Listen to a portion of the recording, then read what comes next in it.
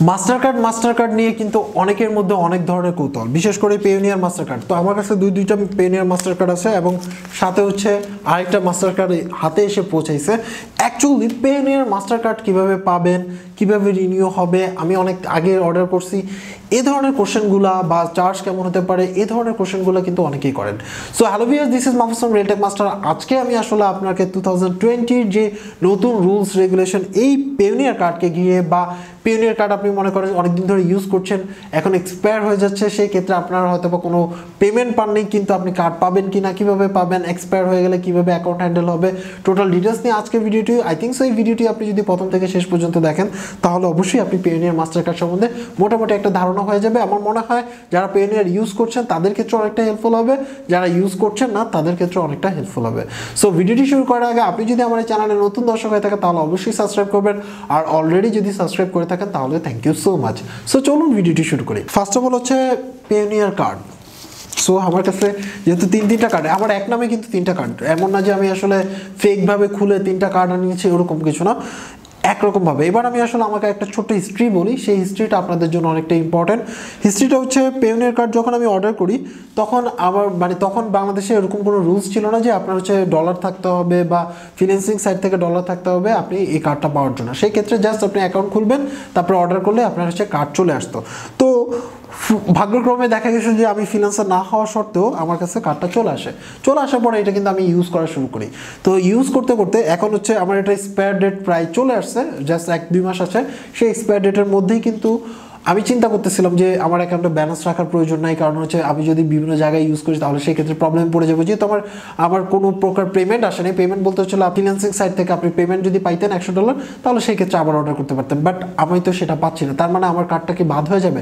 না, এরকম কিছু না। জিনিসটা হচ্ছে এরকম, আপনার যখন এক্সপায়ার হয়ে যাবে, আমি জিনিসটা আবার বলি, আপনার যখন কার্ডটা এক্সপায়ার হয়ে যাচ্ছে আপনার অ্যাকাউন্টের অ্যাগেনিস্টে সেই কার্ডটা এক্সপায়ার হওয়ার তিন মাস আগে, সেই কার্ডটা এক্সপায়ার হওয়ার তিন মাস আগে পেওনিয়ার থেকে আপনাকে আসলে মেল করা হবে।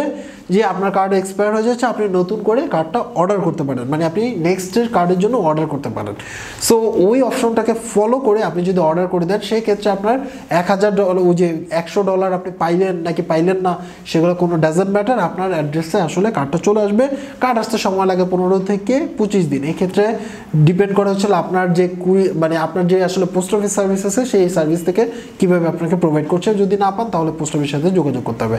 এটা হচ্ছে বেসিক যারা কার্ড অলরেডি ইউজ করছেন, কাজ এক্সপায়ার হয়ে যাবে, এটা নিয়ে যারা টেনশন করছেন, তাদের ক্ষেত্রে। এবার আসে হচ্ছে পেনিয়ার কার্ড পাবেন কীভাবে? দুইভাবে পেনিয়ার কার্ড বর্তমানে পাওয়া যায়। একটা হচ্ছে আপনার থার্ড পার্টি কোনো ওয়েবসাইটের মাধ্যমে যদি আপনি পেনিয়ার কার্ড আনতে চান, সেটা পসিবল এছাড়া আপনি যদি ফিনান্সিং কোনো সাইডে কাজ করেন, সেখান থেকে যদি আপনি একশো ডলার উপরে পেমেন্ট পান সেই ক্ষেত্রে আপনি আসলে কার্ড অর্ডার করতে পারবেন। এই ক্ষেত্রে একটা প্রবলেম আছে যে থার্ড পার্টি ওয়েবসাইট থেকে আপনি ডলার ছাড়াও আপনি আসলে কার্ড অর্ডার করতে পারবেন। এটার ক্ষেত্রে কিন্তু আপনার হচ্ছে অনেকটুকু চার্জ দিতে হয়। ফর এক্সাম্পল আপনি অ্যাক্টিভিশনের জন্য বারো থেকে বারো ডলার সামথিং আপনাকে দিতে হয়। তারপর প্রতি মাসে ইউজ করে না করে সাড়ে তিন ডলারের মতো আপনাকে চার্জ দিতে হয়। মানে ডলারের চার্জটা আপনি নিচে ডেসক্রিপশন আছে লিঙ্ক আছে, সেখান থেকে দেখে নিতে পারেন। যদি আপনি থার্ড পার্টি ওয়েবসাইট থেকে আনেন। ফর এক্সাম্পল আমি একটা থার্ড পার্টি ওয়েবসাইট থেকে আমার এই অ্যাকাউন্টের অ্যাগেনস্টে একটা কার্ড আনলাই। সেই কার্ডের অ্যাগেনস্টে আমাকে কিন্তু চার্জ দিতে হয়েছে। বাট যেটা আমি রিয়েল আমার মেইন অ্যাকাউন্টের যে কার্ড সেই কার্ডের ক্ষেত্রে আমি কিন্তু কোনো প্রকার এক্সট্রা চার্জ দিই না। কোনো প্রকার মাসিক চার্জ দিই না। কোনো প্রকার চার্জ আমাকে দিতে হচ্ছে না। ঠিক আছে? সো এটা একটা একটা ব্যাপার। সো আপনি যা যদি কার্ড নিতে চান, তাহলে এই দুইটা প্রসেস আছে। এই দুইটা প্রসেসের একটা প্রসেস ফলো করেন, আপনি নিতে পারবেন। এই ক্ষেত্রে যদি সরাসরি পেমেন্ট পেয়ে কার্ড আসে, তাহলে সেই ক্ষেত্রে আমার মনে হয় আপনাকে কোনো চার্জ দিতে হবে না। যদি আপনি ডলার লেনদেন করেন, আর যদি না লেনদেন করেন, সেটা আলাদা ব্যাপার স্যাপার এবার আসে হচ্ছে যে কার্ডটা মানে আমার এই কার্ডের অ্যাগেনিস্টে যে কার্ডটা আমার হাতে এসে পৌঁছেছে সেটা এখন পর্যন্ত খুলি নেই ওয়াই হচ্ছে ভিডিওটা মেক করছি। সো আমি আসলে খুলে দেখি যে আসলে কি অবস্থা কার্ডের কি অবস্থা বা কার্ড কি দিছে কিনা বা ওই কার্ডের সেম নাম্বার কিনা। যদিও কখনো সেম নাম্বার কখনোই দিবে না। সো আমরা খুলে ফেললাম। যদিও খোলার স্টাইলটা ভালো ছিল না, খুবই বাজে ছিল। প্যাকেটের মধ্যে আর কোনো কিছু নাই just Payoneer card okay fine my account so just একটা পেপার পাচ্ছি, যে পেপারের মধ্যে আমার কার্ড এবং আদার্স ইনফরমেশন দেওয়া আছে। কার্ডটা এখানে লাগানো আছে। সো এখানের মধ্যে জাস্ট আমার অ্যাড্রেস অনুসারে চলে আসছে। আমার সাথে আপনার হচ্ছে পোস্ট অফিসের সাথে যোগাযোগ ছিল। দেখা হচ্ছে ইজিলি আমি কার্ডটা পেয়ে গেছি আসার সাথে সাথে। এই ক্ষেত্রে আপনি পোস্ট অফিসের সাথে একটু যোগাযোগ রাখতে হবে আর কি। তো এই হচ্ছে আমার কাঙ্ক্ষিত কার্ড সো দেখতে পাচ্ছেন পেনের কার্ডের কালার চেঞ্জ হয়ে গেছে যদিও। সো এই হচ্ছে নতুন কার্ড আমার হাতে পেয়ে গেলাম। এবার আমি আসলে আপনাদেরকে অ্যাক্টিভ করে দেখাচ্ছি। সো এটা কোনো প্রবলেম না। আপনার দুইটা কার্ডে থাকলে যে কোনো প্রবলেম হবে, এরকম কোনো কিছু না।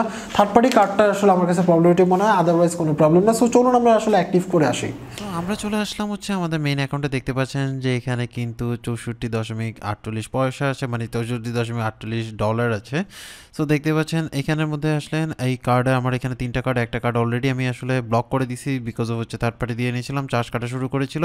আদারওয়াইজ বাকি দুইটা কার্ড বলতে হচ্ছে একটা কার্ড হচ্ছে অলরেডি অ্যাক্টিভ আর একটা কার্ড হচ্ছে আমাকে পাঠানো হয়েছে। এই যে দেখতে পাচ্ছেন এখানের মধ্যে নাম্বার এবং যেটা আগের কার্ড ছিল সেটা টোয়েন্টি টোয়েন্টিতে স্পেয়ার হয়ে যাবে। দ্যাটস ওয়াই হচ্ছে আমাকে নতুন কার্ড জেনারেট করলাম। সেই জেনারেটের কার্ডটা কিন্তু এক জানুয়ারির মধ্যে আসার কথা ছিল।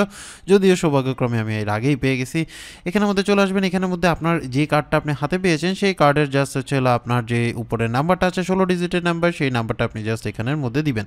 তারপর সবগুলো এগ্রি এগ্রি করে দিবেন জাস্ট অ্যাক্টিভেট ক্লিক করবেন। জাস্ট দেখে নিন, আর কিছু না, এখানে কোনো মধ্যে জাস্ট পিন ফরওয়ার্ডের অপশনগুলো দেখাচ্ছে আর কি নাথিং এলস ওটা এমন কোনো ম্যান্ডেটরি না। সো জাস্ট সব কিছু ওকে অ্যাক্টিভেট জাস্ট দুই এক সেকেন্ড সময় লাগবে, হয়ে গেল। না এখনও হয়নি। যাই হোক সাকসেসফুলি অ্যাক্টিভেট হয়ে গেছে তিরিশ মিনিটের মধ্যে আপনার কাছে একটা মেইল যাবে লিঙ্ক যাবে। সেই মেইল থেকে আপনি হচ্ছে আপনার যে পিন নাম্বারটা আছে সেটা দেখে নিতে পারেন থার্টি মিনিটসের জন্য। সো আপনি মেইল থেকে যে এটা দেখে নিতে পারেন। সো আমি অলরেডি দেখে ফেলছি, এগুলো দেখানোর কিছু নাই। সো আমার কিন্তু বর্তমানে আমার কার্ডটা অ্যাক্টিভেট হয়ে গেছে এবং লাস্ট ট্রানজেকশন দেখাচ্ছিল হোয়াট এভার ইট ইজ এখানের মধ্যে যে পাস্ট দেখুন আমার পাস্ট যে পুরোনো পুরোনো কার্ডগুলো সেটা কিন্তু ব্লকড হয়ে গেছে। আগের কার্ড যেটা ছিল, সেটাও ব্লকড হয়ে গেছে, এটাও ব্লকড হয়ে গেছে। এখন হচ্ছে শুধুমাত্র আমার একটা কার্ড অ্যাক্টিভেট আছে এবং উপরে দেখুন ব্যালেন্সের কিন্তু কোনো চেঞ্জ আসেনি, দেখতে পারেন। উপরে মানে এটা কিন্তু অফ হয়ে গেছে রিপ্লেসমেন্ট হয়ে গেছে ওটা দিয়ে, এবং উপরের ব্যালেন্স কিন্তু এখনও আগের মতো সো অ্যাক্টিভ করার পরে বুঝতেই পারছেন যে আসলে কোনো চার্জ লাগতেছে কিনা। সো আমার কাছে মনে হয় যে এভাবে যদি আপনি ইউজ করেন তাহলে আমার আপনার কোনো প্রবলেম হবে না। সো যেহেতু এইটার ব্যালেন্সটা কোনোভাবে যদি আপনার অ্যাকাউন্টে পঞ্চাশ ডলার উপরে থাকে, তাহলে কিন্তু আপনি বাংলাদেশে যে কোনো আপনার হচ্ছে ব্যাংকে ট্রান্সফার করতে পারবেন। অনলাইন ব্যাংকিং সাপোর্ট করে যেরকম কোনো ব্যাংকে আপনি ট্রান্সফার করতে পারবেন। সো এটা কিন্তু একটা ভালো দিক। সো আজকে এই পর্যন্তই যারা এখন পর্যন্ত আমার এই চ্যানেল সাবস্ক্রাইব করেন চ্যানেল সাবস্ক্রাইব করে নিতে পারেন। আর এটা যদি আপনার কাছে হেল্পফুল মনে হয়, তাহলে অবশ্যই কমেন্টস করবেন বা ভিডিওটা শেয়ার করবেন এবং লাইক দিবেন। সো আজকে এই পর্যন্তই। সবাই ভালো থাকবেন। আল্লাহ হাফেজ।